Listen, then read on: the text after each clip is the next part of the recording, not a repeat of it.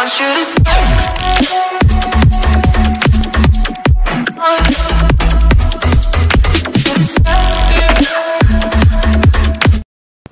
Friends ಎಲ್ಲರೂ ನಮಸ್ಕಾರ.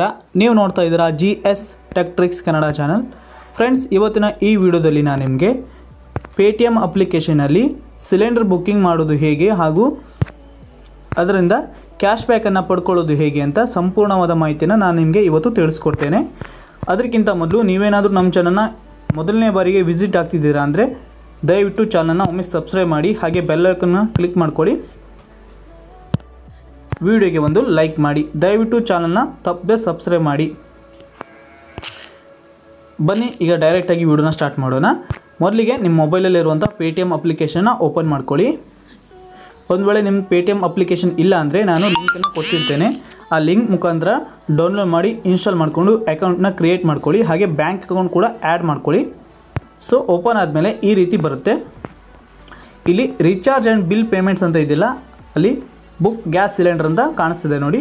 ಅಲ್ಲಿ ಮೇಲ್ಗಡೆ ಐವತ್ತರಿಂದ ಸಾವಿರ ರೂಪಾಯಿ ಕ್ಯಾಶ್ ಬ್ಯಾಕನ್ನು ತೋರಿಸ್ತಾ ಇದೆ.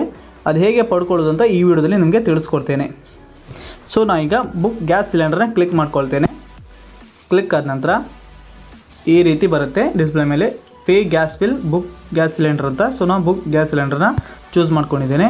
ಹಾಗೆ ನಿಮಗೆ ಇಲ್ಲಿ ಮೂರು ರೀತಿಯ ಕಂಪ್ನೀಸ್ ಕಾಣುತ್ತೆ. Bharat gas H P gas Indian gas so ನಾನು ಇಂಡಿಯನ್ ಗ್ಯಾಸ್ ಕ್ಲಿಕ್ ಮಾಡ್ತೇನೆ. ನೀವು ನಿಮ್ಮ ಗ್ಯಾಸ್ ಕಂಪ್ನಿನ ಕ್ಲಿಕ್ ಮಾಡ್ಕೊಳ್ಳಿ. ಆನಂತರ ಇಲ್ಲಿ ಬುಕ್ಕಿಂಗ್ ಟೈಪ್ ವ್ಯಾಲ್ಯೂ ಅಂತ ಇದೆ. ಸೊ ನಾನು ನಮ್ಮ ಮೊಬೈಲ್ ನಂಬರ್ ಹಾಕಿ ಬುಕ್ಕಿಂಗ್ ಮಾಡ್ತೇನೆ. ನೀವು ನಿಮ್ಮ ಹತ್ರ L P G I D ಹಾಕೋದಿದ್ರೆ ಇಲ್ಲಿ ಚೇಂಜ್ ಮಾಡ್ಕೊಳ್ಳಿ. ನೋಡಿ L P G I D mobile number consumer number and dealer code ಅಂತ. ಅದನ್ನು ಹಾಕ್ಬೋದು. So L P ಜಿನೂ L P G I D ಹಾಕೋದು ಕೂಡ ಬುಕ್ಕಿಂಗ್ ಮಾಡ್ಬೋದು. ನಿಮಗೆ ಬೇಕಾದಂಥ ನಿಮಗೆ ಈಸಿ ಯಾವುದಾಗುತ್ತೋ ಅದನ್ನು ಹಾಕ್ಕೊಳ್ಳಿ ನಾನು ಮೊಬೈಲ್ ನಂಬರ್ ಹಾಕೋದು ಈಸಿ ಅದಕ್ಕೆ ಮೊಬೈಲ್ ನಂಬರ್ ಹಾಕಿ ಬುಕ್ಕಿಂಗ್ ಮಾಡ್ತೇನೆ. ಮೊಬೈಲ್ ನಂಬರ್ ಅಂದರೆ ನೀವು ಗ್ಯಾಸ್ ಬುಕ್ಕಿಂಗ್ಗೆ ಕೊಟ್ಟಿರ್ತೀರಲ್ಲ, ಮೊದಲೇ ರಿಜಿಸ್ಟರ್ ಮಾಡಿರ್ತೀರಲ್ಲ, ಆ ನಂಬರ್ ಹಾಕಬೇಕಾಗುತ್ತೆ. ಯಾವ್ಯಾವುದೋ ಮೊಬೈಲ್ ನಂಬರ್ ಹಾಕೋದಲ್ಲ. ಸೊ ನಾನೀಗ ಮೊಬೈಲ್ ನಂಬರ್ ಹಾಕಿ ಡೈರೆಕ್ಟಾಗಿ ಬುಕ್ಕಿಂಗ್ ಮಾಡ್ತೇನೆ.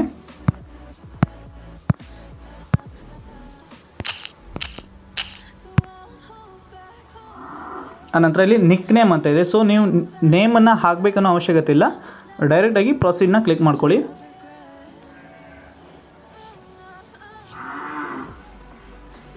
ನೋಡಿ, ಇಲ್ಲಿ ಕಾಣಿಸ್ತಾ ಇದೆ ಡೆಲಿವರಿ ಟೂ ತ್ರೀ ಡೇಸ್ ಅಂತ ಇರುತ್ತೆ. ಅಂದರೆ ಎರಡು, ಮೂರು ದಿನದಲ್ಲಿ ನಿಮ್ಮ ಗ್ಯಾಸ್ ಸಿಲಿಂಡರ್ ಕಾಣಿಸುತ್ತೆ. ಬೇಕಾದ್ರೆ ಬ್ಯಾಗ್ ತೋರಿಸ್ತೇನೆ. ನೋಡಿ delivery of your cylinder in two three days no extra charge of your cylinder ಬಗ್ಗೆ ಅಂದರೆ ನೀವು ಯಾವುದೇ ರೀತಿ ಇನ್ನು ಹೆಚ್ಚಿನ ಹಣ ಕೊಡಬೇಕು ಅನ್ನೋದಿಲ್ಲ ಅಂದರೆ ಎಕ್ಸ್ಟ್ರಾ ಚಾರ್ಜ್ ಕೊಡಬೇಕನ್ನೋ ಅವಶ್ಯಕತೆ ಇಲ್ಲ. ಪ್ರೊಸೀಡ್ ಕೊಡ್ತೇನೆ ಈಗ. ಪ್ರೊಸೀಡ್ ಕೊಟ್ಟ ಮೇಲೆ ಈ ರೀತಿ ಬರುತ್ತೆ ನೋಡಿ. ಇಲ್ಲಿ ಮೇಲ್ಗಡೆ ನಿಮ್ಮ ಗ್ಯಾಸ್ ಸಿಲಿಂಡರ್ ಯಾರ ಹೆಸರಲ್ಲಿ ಇದೆಯೋ ಅವ್ರ ಹೆಸರು, ಪೂರ್ತಿ ಹೆಸರು ಬರುತ್ತೆ. ಆನಂತರ ಅಮೌಂಟ್ ಬರುತ್ತೆ ನೋಡಿ, ಒಂದು ಸಾವಿರದ ಹದಿನೇಳು ರೂಪಾಯಿ ಆಗಿದೆ ಇಂಡಿಯನ್ ಗ್ಯಾಸ್ ಅಮೌಂಟ್ ಈಗ.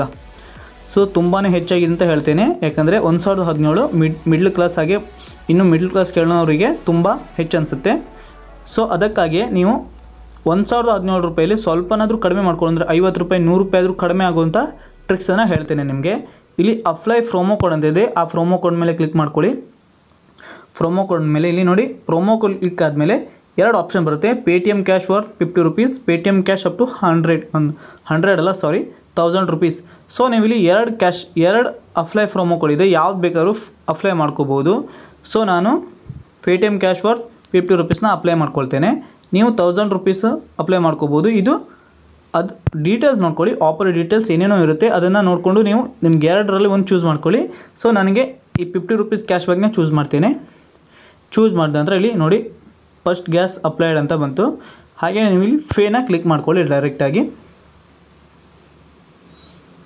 ಫೇ ಕ್ಲಿಕ್ ಮಾಡಿಕೊಂಡು ನೀವು ನಿಮ್ಮ ಡೆಬಿಟ್ ಕಾರ್ಡ್ ಹಾಕ್ಕೊಂಡು ಡೆಬಿಟ್ ಅವ್ರ ಕ್ರೆಡಿಟ್ ಕಾರ್ಡ್ ಹಾಕ್ಕೊಂಡು ಫೇ ಮಾಡ್ಕೊಳ್ಳಿ ಅಥವಾ ನೆಟ್ ಬ್ಯಾಂಕಿಂಗ್ ಮಾಡ್ಕೊಳ್ಳಿ ಅಥವಾ ನಿಮ್ಮ ಬ್ಯಾಂಕ್ ಅಕೌಂಟ್ ಆ್ಯಡ್ ಇದ್ದರೆ ಡೈರೆಕ್ಟಾಗಿ ನಿಮ್ಮ ಬ್ಯಾಂಕ್ ಅಕೌಂಟ್ನಿಂದ ಅಮೌಂಟ್ ಟ್ರಾನ್ಸ್ಫರ್ ಮಾಡಿ ಸಿಲಿಂಡರ್ನ ಬುಕ್ಕಿಂಗ್ ಮಾಡ್ಕೊಳ್ಳಿ. ಹಾಗೆಯೇ ಬುಕ್ಕಿಂಗ್ ಆದ ನಂತರ ನಿಮಗೆ ಕ್ಯಾಶ್ ಬ್ಯಾಕ್ ಅಮೌಂಟ್ ನಿಮ್ಮ ಅಕೌಂಟಿಗೆ ಅಪ್ಲೈ ಆಗ ಅಂದರೆ ಕ್ಯಾಶ್ ಬ್ಯಾಕ್ ಅಮೌಂಟ್ ಕ್ರೆಡಿಟ್ ಆಗುತ್ತೆ. ನಿಮ್ಮ ಬ್ಯಾಂಕ್ ಅಕೌಂಟಿಗೋ ಇಲ್ಲ ಪೇ ಟಿ ಎಂ ವ್ಯಾಲೆಟಿಗೋ ಬಂದು ಕ್ಯಾಶ್ ಬ್ಯಾಕ್ ಅಮೌಂಟು ಕ್ರೆಡಿಟ್ ಆಗುತ್ತೆ. ಸೊ, ಇದರಿಂದ ನೀವು ನಿಮ್ಮ ಗ್ಯಾಸ್ ಸಿಲಿಂಡರ್ನಲ್ಲಿ ಸ್ವಲ್ಪನಾದರೂ ಹಣನ ಉಳಿಸ್ಕೋಬೋದು. ದಯವಿಟ್ಟು ಎಲ್ಲರೂ ಪೇ ಟಿ ಎಮ್ಮಲ್ಲಿ ಗ್ಯಾಸ್ನ ಸಿಲಿಂಡರ್ ಬುಕ್ಕಿಂಗ್ ಮಾಡ್ಕೊಳ್ಳಿ. ಯಾಕಂದರೆ ಒಂದು ಸಾವಿರದ ಹದಿನೇಳು ರೂಪಾಯಿ ಅಂದರೆ ತುಂಬ ಹೆಚ್ಚಿನ ಅಮೌಂಟು. ದಯವಿಟ್ಟು ವಿಡಿಯೋನ ಪೂರ್ತಿವರೆಗೂ ನೋಡಿಕೊಂಡು ಈ ಟ್ರಿಕ್ಸ್ನ ಯೂಸ್ ಮಾಡ್ಕೊಳ್ಳಿ. ಎಲ್ರಿಗೂ ಧನ್ಯವಾದ.